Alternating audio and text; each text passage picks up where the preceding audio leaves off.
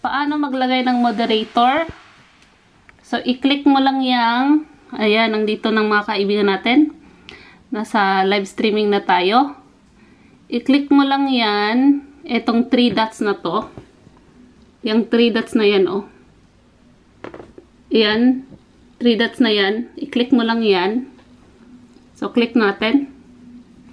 Ayan, may report. Remove, you see, oh, put user in time.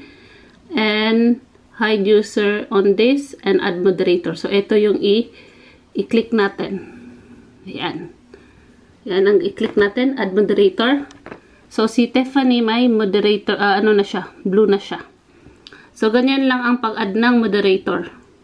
So, click to, yung 3 dots. Yung 3 dots na yan. Tapos, may ano option. Doon, i-ano mo lang yung moderator.